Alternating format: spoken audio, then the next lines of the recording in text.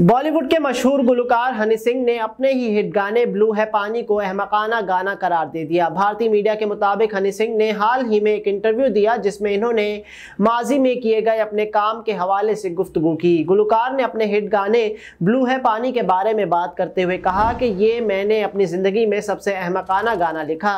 ये कोई गाना है, बकवास है ये तो इस गाने का कोई सर पैर ही नहीं है।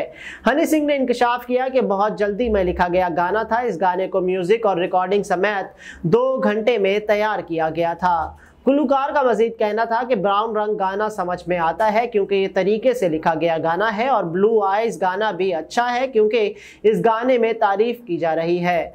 हनी सिंह ने मजीद कहा कि लुंगी डांस और पार्टी ऑल नाइट जैसे गाने भी इतने ही फजूल गाने हैं और ये अजीब बात है कि इन गानों की तारीफ़ हुई। पता नहीं मैं क्या कर रहा था और लोग सर पर बिठा रहे थे।